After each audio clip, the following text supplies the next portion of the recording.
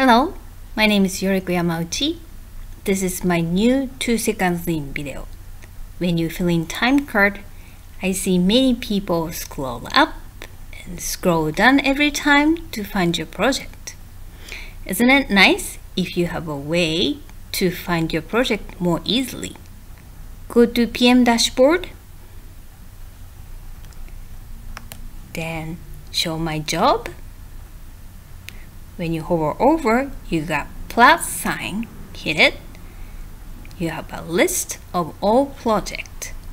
So find your project.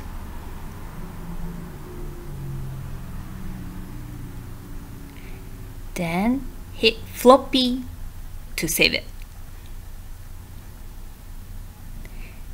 If you have more, hit plus, go to the list, find your job,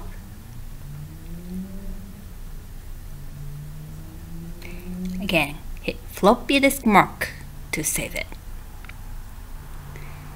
If you have more, do that again.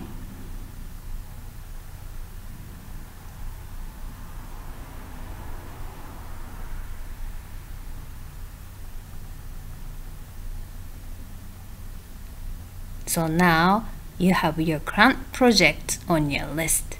Show and hide. Go back to time card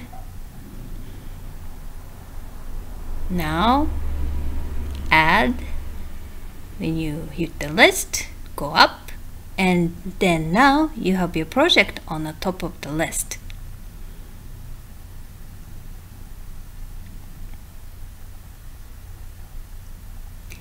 If you don't need it go back to PM dashboard